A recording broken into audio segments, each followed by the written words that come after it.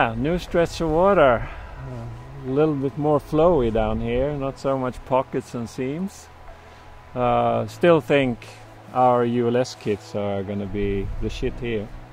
Really, it's um, just so versatile with these short heads and uh, the short rods and how easily you can pick up line, shoot far, no matter what's behind you. So, what do you think, Jacob? What should we use uh, as far as lines goes? You have uh, what do you have on? The multi-tip Okay, you Uh, should the ULS multi-tip, the floating head there. floats Yeah. and a 2-3 on a short leader. Yeah. um, and it creates it helps me out to be as quiet as possible as well and I think that's so important when it comes to this sea trout fishing because down here is so calm pools and having a heavy line or a big rod and everything is just this fe- this helped me out to be so quiet Yeah.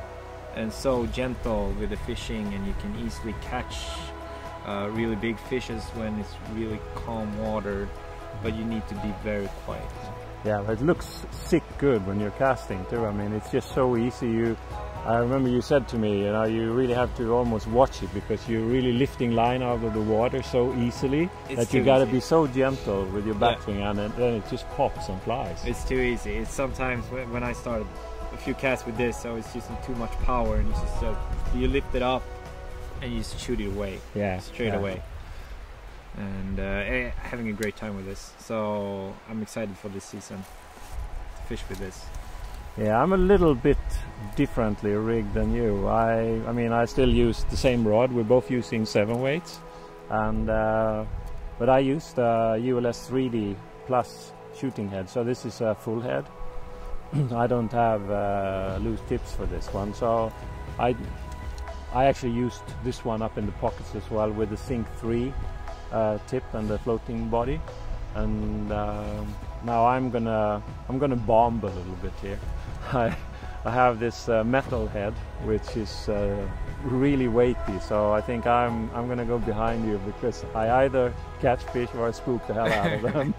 but uh, the one thing that this will do together with the Sink 3 is it's definitely gonna go down.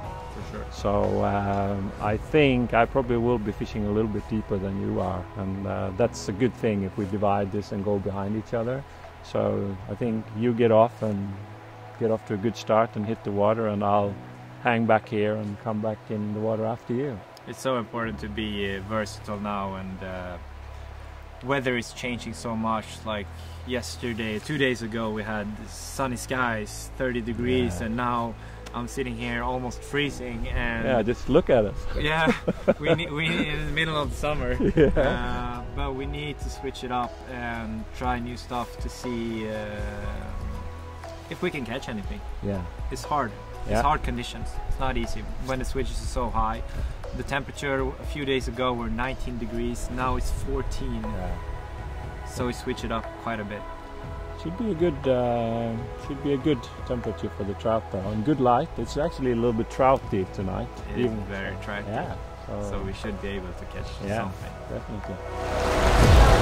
Oh, I gotta go down.